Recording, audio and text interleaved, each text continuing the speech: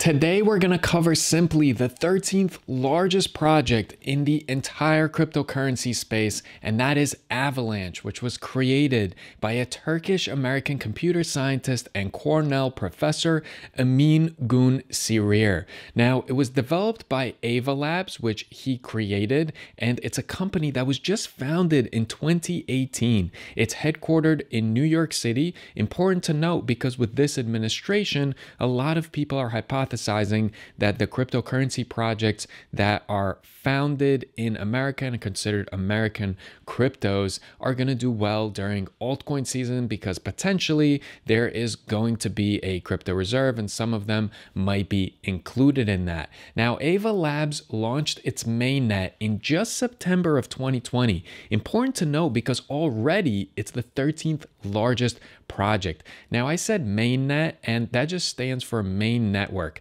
It's when a blockchain is fully operational and developed and deployed and is live and is ready to just exist as it is supposed to.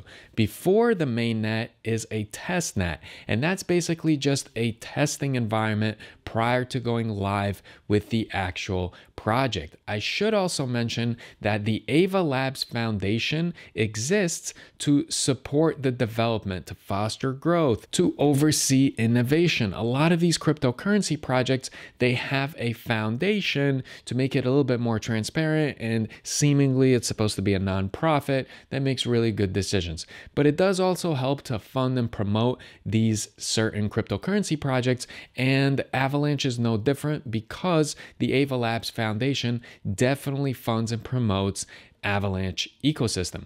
And so, with that being said, let's take a little deeper dive into Avalanche, into AVAX, and see why and how it became the 13th largest project in the entire crypto space. So, Avalanche is touting itself as a fast, scalable, and eco friendly blockchain. It's designed to support decentralized apps, which is dApps, and custom blockchains. So think of it more as an efficient competitor to Ethereum that's trying to really integrate GameFi and is focused on speed, low fees, and flexibility. Now, when we talk about speed, we discuss transactions per second, but the tricky thing is here, they used to have more information on their website as far as how fast each of their blockchains are, and I'll explain what I mean by each of their blockchains because they have several. But one thing is for sure, it is much faster than Ethereum's around 15 transactions per second. And also, the transactions are confirmed in less than two seconds. Ethereum takes a couple of minutes. Gas fees are definitely lower than Ethereum, and the fees are paid in AVAX.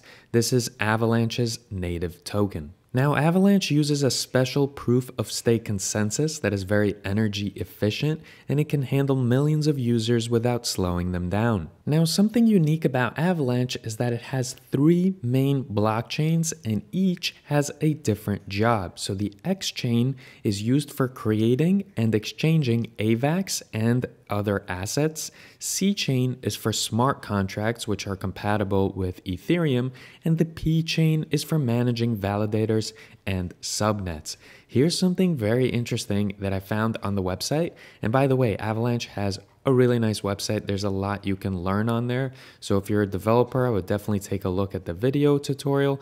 And if you're an individual, I would go to the get started and I would learn as much as you can about Avalanche. I also want to point out that they have something called a bug bounty program, which is interesting because it basically rewards people for figuring out different types of attack vectors and they want to expose vulnerabilities, but they want to pay hackers in order to do that. So if someone is able to find a vulnerability on any of the chains or the project itself, they're able to win a lot of money.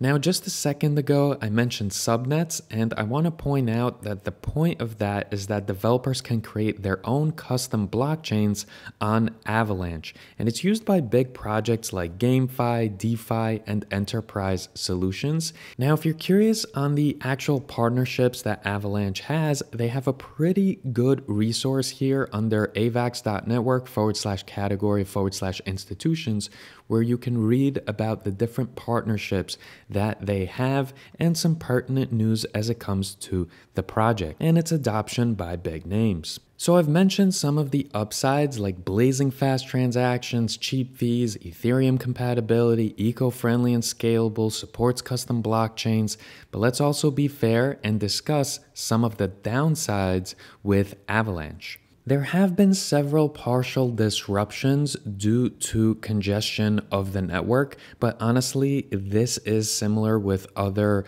projects in the cryptocurrency space, so it's not just something that is unique to Avalanche. There are, however, a lot of centralization concerns, so unlike Ethereum, Avalanche requires a large amount of AVAX to run a validator, which is high and limits decentralization. And also, critics argue that Ava Labs, the company behind Avalanche, still has too much influence over the actual ecosystem.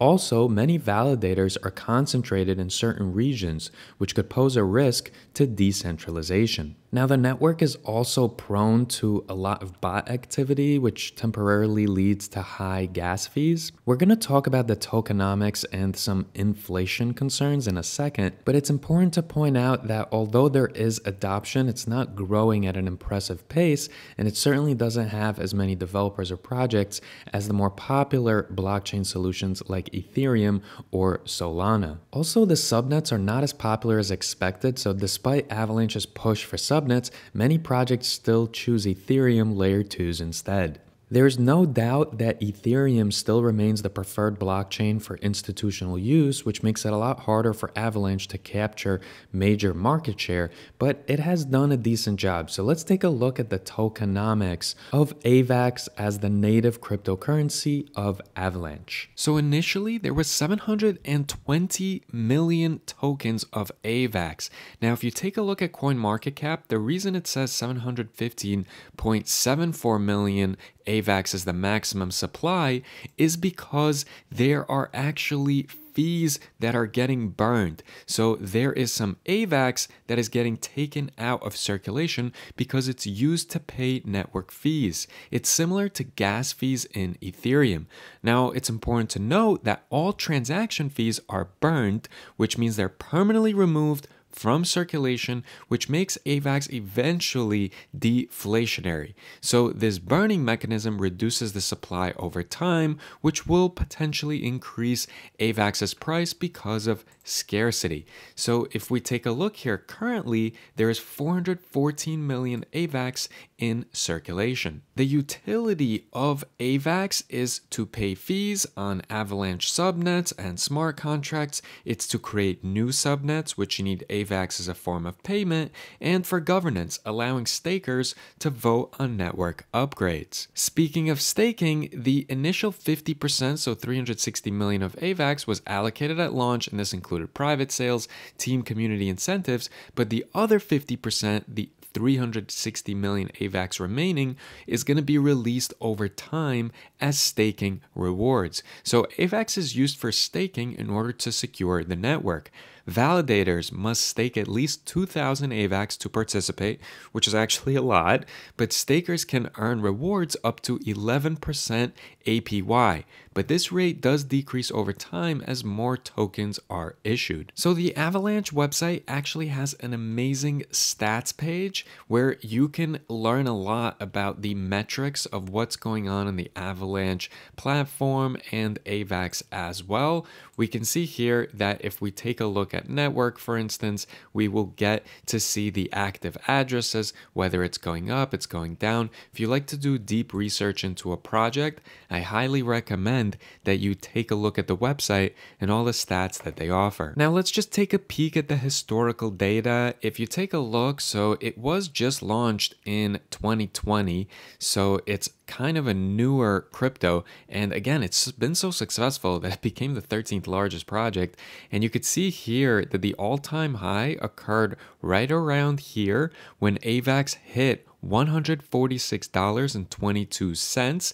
It is currently over 85% drop from that point in time, but this occurred in 2021 when everything was flying. Now, something I always like to do when I'm analyzing these tokens or coins is to compare them against the price action of Bitcoin, which you can see here designated in orange, versus AVAX, which is in purple. And you could see that towards the end of 2021, even in 2022, it was far outpacing the gains of Bitcoin. But as you can see, as of late, Bitcoin has actually been outperforming AVAX. So that about wraps up my video of explaining Avalanche and AVAX to you simply. I'm curious to know, are you someone that's investing in Avalanche and AVAX? Do you think it's a worthy project? Do you think it's going to miserably fail in the end and it's just copying what Ethereum and some of these other blockchains are attempting to do? Really want to hear from you guys in the comments and let me know which topic in crypto and which cryptocurrency project you wish for me to cover next. Appreciate all of you for watching this video in its entirety, and hopefully I'll see some of you in the next one.